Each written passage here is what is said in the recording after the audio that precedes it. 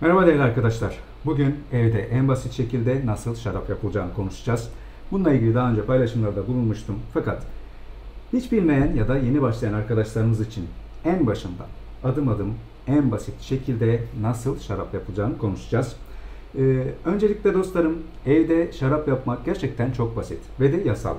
4733 sayılı kanunla e, Yıllık 350 litreyi geçmemek ve satışını yapmamak şartıyla evde fermente içecek yapmak yasaldır.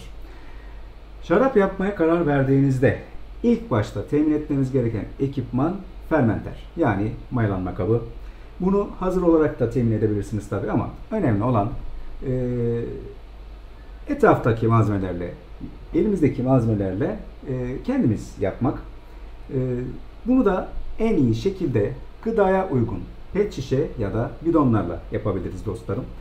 Şu şekilde gazlı içecek e, şişesi kullanabilirsiniz ya da bu şekilde su e, bidonlarda kullanabilirsiniz dostlarım. Öncelikle yapmak istediğiniz miktarı e, belirleyip ona göre bir e, fermenter yani bir kap belirleyeceğiz. E, ki ona göre hava kilidi yapmamız gerekiyor. Hava kilidi çok önemli burada. Basit bir mekanizma ama rolü çok büyük. E, Hava kilidinin amacı şu şekilde e, içeride oluşan karbondioksiti dışarıya tahliye etmek ama dışarıdan içeriye hava almak yani oksijen almamak.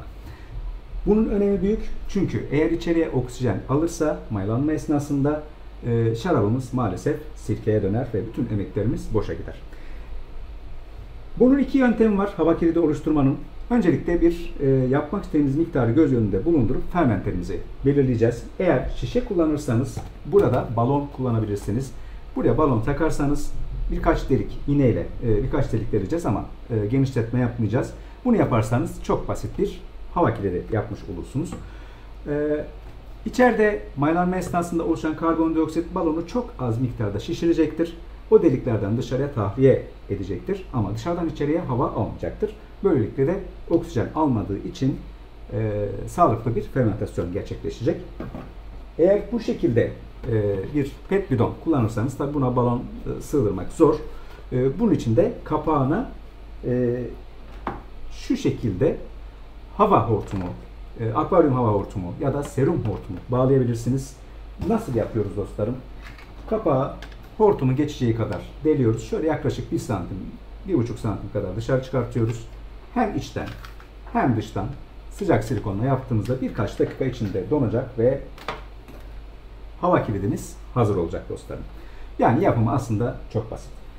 Fermenterimizi hazırladıktan sonra e, maya seçimine geçeceğiz. Maya seçiminde aslında dostlarım kırmızı şarap mayası, beyaz şarap mayası ya da şampanya mayası kullanabilirsiniz.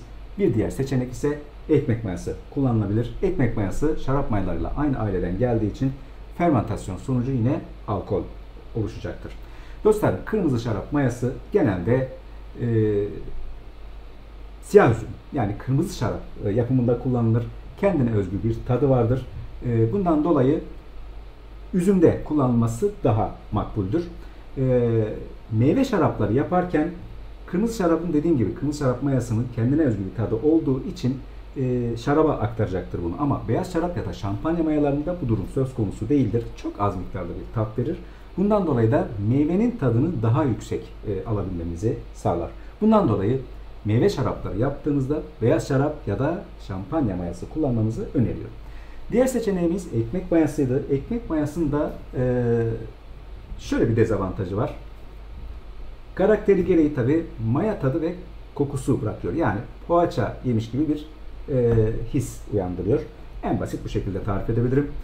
E, bundan dolayı da e, dezavantajı bu ama avantajı sıcak havalarda çok iyi çalışır. 35 santigrat dereceye kadar çok rahat bir şekilde çalışır. Yani yaz aylarında ekmek mayası kullanırsanız güzel sonuçlar alırsınız. Peki ekmek mayasının tadını yani şaraba geçen tadını nasıl e, azaltabiliriz? Engelleyemeyiz ama azaltabiliriz. E, şıramızı hazırladıktan sonra birazdan değineceğim zaten. Şıramızı hazırladıktan sonra yarım bardak e, yoğurt suyu eklerseniz maya, e, maya atın öncesi e, fermentasyon bitimine kadar bu şekilde bekleyeceğiz. Fermentasyon bittikten sonra mayamızı atacağız ve fermentasyonumuz bitecek. Fermentasyon bittikten sonra şurada dipte tortu görüyorsunuz. Bu tortuyu almadan şişelere aktaracağız. Şişelere aktardıktan sonra birkaç gün sonra yine dipte tortu göreceğiz. O tortuyu da ayırıp yine üstteki berrak kısmı başka şişelere alacağız. Gerekirse bunu birkaç kez tekrarladığımızda yani e, tortudan ne kadar çok e, kurtulursak maya tadından da o kadar fazla kurtulmuş oluruz. Bu da ayrıca bir e, not olarak düşelim. Dostlarım hava kilidimizi e, hortumla yaptığımızda şöyle bir e, süreç oluyor. Şimdi aslında fermentasyon sürecini anlatayım. Şıramızı hazırladıktan sonra mayamızı atacağız ve maya kabında mutlaka yani fermenterimizde mutlaka şöyle bir boşluk bırakmamız gerekiyor. Yani dörtte bir oranda, beşte bir oranda bir boşluk bırakacağız. Sebebi burada oluşan e, köpüklenme oluşacak ve burada bir kabarma oluşabilir. Bu kabarma hava kilidinden dışarıya atabilir, hava kilidinizi tıkayabilir ve bu da istenmeyen sonuçlar e, oluşturur. Bunun için bu boşluğu mutlaka bırakacağız. Yani şöyle bir 5 litrelik e, fermenter yaptığımızda işte 4 litreye kadar, 3,5-4 litreye kadar şıra hazırlayacağız. Üzerini boş bırakacağız. Şöyle 2,5 litrelik bir e,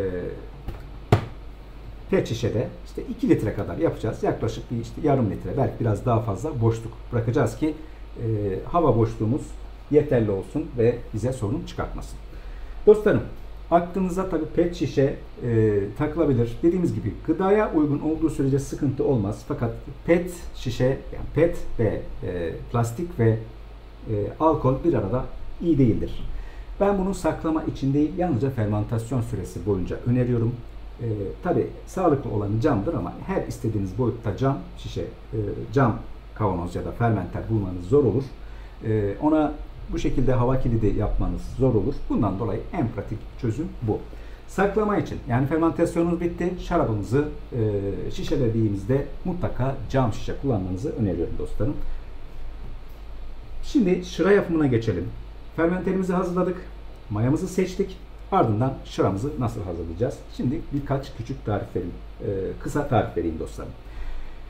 Mevsimine göre istediğimiz her mevsimde istediğimiz her meyveden şarap yapabiliriz. Aslında teknik olarak şekerli her türlü gıradan şarap yapılabilir. Sonuç güzel olur, kötü olur ayrı mesele ama teknik olarak yapılabilir.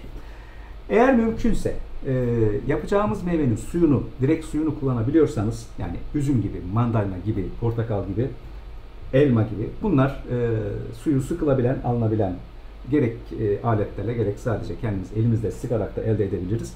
Ee, eğer suyunu alabiliyorsanız daha yoğun, daha güzel bir tat elde etmiş oluruz. Ama e, suyu alınamayan ya da suyunu almak için çok fazla meyve harcamak zorunda kalacağımız, örneğin erik e, suyu vardır ama çok fazla e, meyve kullanmamız gerekiyor su e, alabilmek için. Çilek keza bu şekilde. E, bunun yerine kaynatma yoluyla e, meyvenin tadını, e, rengini yani aromasını suya aktararak da şu şekilde şıra hazırlayıp maya atarak e, bunu sağlayabiliriz. Belli şeker oranları var. E, mayalar belli şeker oranlarında çalışır. E, onu da anlatayım. Diyelim ki çilek şarabı ya da erik şarabı yapacaksınız. E, bunu e, kaynatarak elde edeceğiz. Bunda daha önceki videolarımı izleyen arkadaşlarım hatırlayacaktır. Ama bilmeyen arkadaşlarınız için şunu söyleyeyim. %50 kuralımız vardı e, suyunu alamadığımız meyveler için. Şu şekilde yapıyoruz dostlarım. Yapmak istediğimiz miktar kadar su. Yani işte 5 litre demiştik. 5 litre için 4 litre e, toplamda 4 litre demiştik mesela. 4 litre su kullanacağız. Bunun yarısı kadar meyve kullanacağız. Meyvenin yarısı kadar da şeker kullanacağız. Bu ezberden bir e, tarif diyebilirim. Ama aslında bunun için sıvının şeker yoğunluğunu ölçen hidrometre Tabii bunun için de örnek alabilmemiz için de mezur gerekiyor. Bunu kullanırsak çok daha sağlıklı sonuçlar alırız. Ee, eğer bunu tedarik ederseniz çok daha e, güzel sonuçlar alırsınız. Yani en azından kararlı sonuçlar alırsınız. Bunu tedarik edemezseniz dediğim gibi ezberden bu şekilde bir e, oranlamayla şeker miktarını sağlamış olursunuz. Eğer şarap mayası kullanacaksanız bu söylediğim tarifi birebir uygulayın. Ekmek mayası kullanacaksanız şeker miktarını biraz daha düşmemiz gerekiyor çünkü ekmek mayası daha az, sindirimi daha düşük olduğu için, alkol oranı daha düşük olduğu için e, şeker miktarını daha az yapmamız lazım. Yaklaşık %20. Yani e, az önce işte 4 litre, e, 2 kilo meyve, 1 kilo şeker demiştik. 1 kilo yerine 800 gram şeker kullanırsanız ekmek mayası için daha güzel bir sonuç almış olursunuz. Şöyle bir şey duymuş olabilirsiniz. Ne kadar şeker o kadar alkol. Maya e, doğrudur. Şekeri alkole dönüştürür fakat e, her türlü şekeri dönüştüremez. E, burada şöyle bir durum var. Beyaz şekeri tamamen dönüştüremiyor dostlarım. E, mayalar meyve şekerini yani fruktozu daha iyi sindirir. Ayrıca beyaz şeker de tabii e, bir miktar e, sindirebilir ama çok fazla olursa şarabınız tatlı olur. Yani şekerli bir şarap elde etmiş olursunuz. Eğer şarabınız şekerli olmuşsa mayanız e, sindirimini yapamamış demektir. Tabi bunun başka sebepleri de var. Hava şartları, ortam sıcaklığının e, olması, şeker miktarının çok yüksek olması ya da mayanın bayat olması, düzgün çalışmaması vesaire. Dostlarım, burada e, şeker oranı için şunu söyleyeceğim. Ayrıyeten e, meyve suyuyla da çünkü e, yapabiliyoruz ama %100 olmak şartıyla. Eğer e, normal meyve suyu kullanırsanız bunlarda aroma vericiler var, e, katkı maddeleri var, suni şeker kullanılıyor, tatlandırıcı kullanılıyor. Mayalar bunları tanımadığı için sindiremez ve düzgün bir şarap olmaz. Sindirebileceği kadar şeker varsa onu sindirir. Çok az bir şaraba benzer o yaptığımız şey ama e, berbat bir sonuç olur. O yüzden %100 olmalı. Yani %100 elma, %100 vişne, %100 nar, %100 üzüm, %100 portakal vesaire. Bunun gibi %100 meyve suları, hazır meyve sularını kullanırsanız çok güzel sonuç alırsınız. Bunda da e, basit tarif olarak şunu söyleyebilirim. Her bir litre için bir su bardağından biraz eksik şekerle e, karıştırarak şıranızı hazırlamış olursunuz. Bunda da maya ölçümüz her 5 litre için 1 çay kaşığı şarap mayası. Her 5 litre için 2 çay kaşığı e, ekmek mayası e, kullanabilirsiniz. Bu arada ekmek mayası hangi maya olacak derseniz kuru instant maya olacak dostlarım. Bunu direkt hiç uyandırma yapmadan e, şıranıza atarsanız mayalanma başlayacaktır. Şarap mayası da öyle ama uyandırma yaparsanız daha hızlı, e, fermentasyon daha hızlı başlayacaktır. Uyandırma terimi nedir diye düşünürseniz, dostlarım e, mayanın şekerli suyla e, buluşmasıyla e, uyanıp kendine gelip çoğalmaya başlaması dostlarım. Hemen e, beslenmeye başlar. Bundan dolayı da o hazırlandığında böyle köpürür biraz. Bunu tutup e, şıranıza attığınızda direktmen fermentasyona başlamış olur. Şıradaki şekeri yemeye başlar. Basitçe bu şekilde tarif e, vereceğim size dostlarım. E, çok fazla ayrıntıya girersek bu videoyu uzatırız. Çok uzun olur. Videolarım arasında e, meyve şarapları var. E, meyve şarabı tariflerim var. E, orada e, hangi meyveyi istiyorsanız birkaç çeşidim var orada. Bakarsanız oradan izlerseniz daha ayrıntılı e, izleyebilirsiniz. Dostlarım Saklama, fermentasyon süresine gelelim. Fermentasyon süresi genel olarak 15 gündür. İlk bir hafta içerisinde dostlarım e, burada dediğim gibi yüzeyde köpüklenme oluşur e, ve buradan gaz çıkışı, karbondioksit çıkışı olur. Eğer hava kilidiniz sağlamsa şu hortumdan çıkacak ve buradan kabarcık olarak göreceksiniz. Kabarcık aslında bize bir yandan da e, gözlemleme için e, iyi bir yöntem. Kabarcık atma periyodunu izleyerek fermentasyonun ne e, süreçte olduğunu anlayabilirsiniz. Hızla atıyorsa daha başlangıçtadır. Yüksek miktarda gaz oluşuyordur. E, bu da e, basınç da oluş yani basınç oluştuğu için yüksek e, miktarda da kabarcık atacaktır. Bu fermentasyon ilk bir haftasında olur. Daha sonra kabarcık atma yavaşlar. İkinci haftasında e, hafif fermentasyon e, olur. Artık kabarcık atmayabilir ama bu e, fermentasyon bitti anlamına gelmez. Çok fazla seyrelmiştir. E, ve burada küçük küçük baloncuklar görürsünüz gazoz gibi. Bu hafif fermentasyon olduğunu gösterir.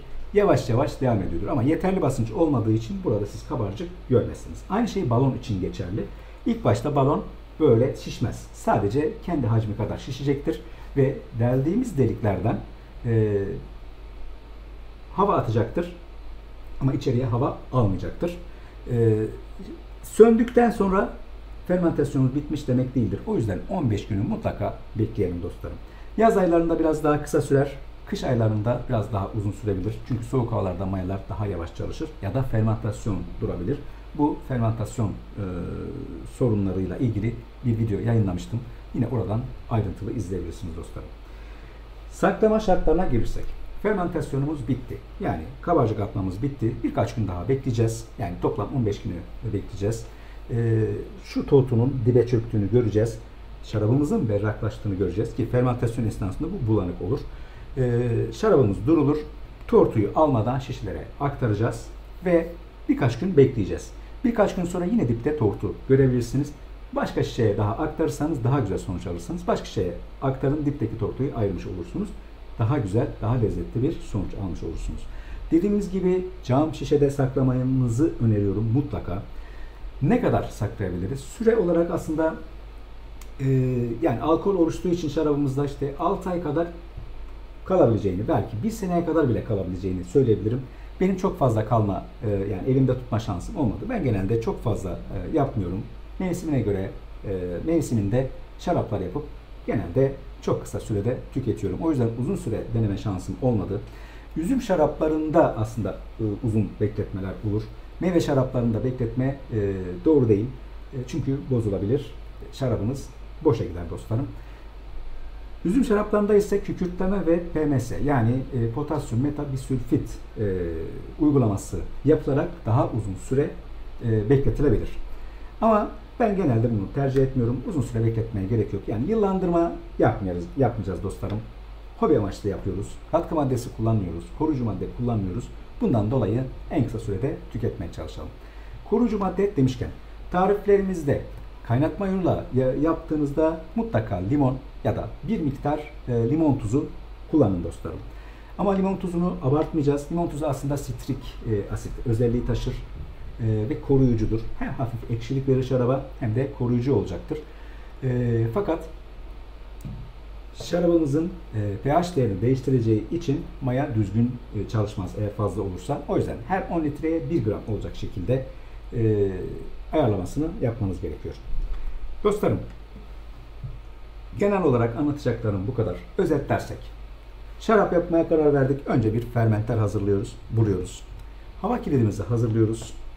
Ee, serum hortumu ya da akvaryum hortumuyla sıcak silikonla yaptığımızda çok basit bir e, hava kilidi elde etmiş oluruz. Ardından şıramızı kaynatma yoluyla ya da sıkma yoluyla elde ediyoruz. Şeker miktarını ayarlıyoruz. Şeker miktarını e, dediğimiz gibi kaynatma yapacağımız meyvelerde %50 %50 kuralımızı uyguluyoruz.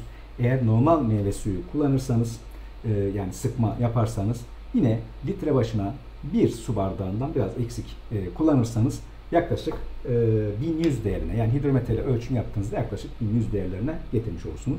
Bu kabaca bir e, ölçüm. Hidrometreniz varsa ölçüm yaparak yapabilirsiniz. Daha güzel sonuç alırsınız dostlarım.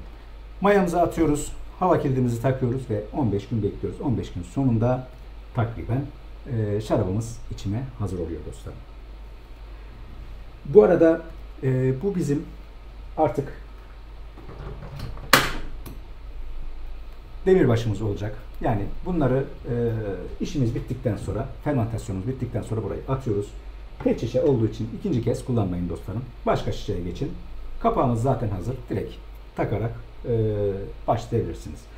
Dostlarım, umarım verdiğim bilgiler faydalı olmuştur. Başka videoda görüşmek üzere. Kendinize iyi bakın. Hoşçakalın.